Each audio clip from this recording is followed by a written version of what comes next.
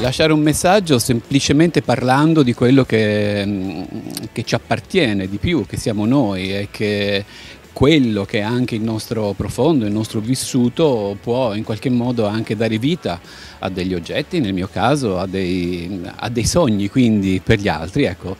Prima sentivo un intervento sul, sull'uso dell'acqua e su quanto è importante l'acqua e su quanto l'acqua sia un veicolo eh, per noi, sia anche di, non so, abbiamo visto un sacco di immagini anche con le buste di plastica per dire, cioè anche di rispetto nei confronti dell'acqua e della natura.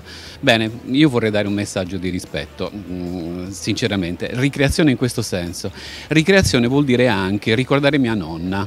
Ora, scusa, mi viene in mente un ricordo un po' particolare. Mia nonna, quindi faceva parte un po' dei tempi andati, mi insegnò a piegare le buste di plastica cioè mi insegnò ad avere rispetto per le buste di plastica, che con un sistema un po' particolare, anche un po' tipo origami, poi alla fine mi consentiva di avere un eh, riuso, un, uh, una, un, un, ordine nel rimetterla a posto e un rispetto anche per una busta di plastica e non abbandonarla quindi.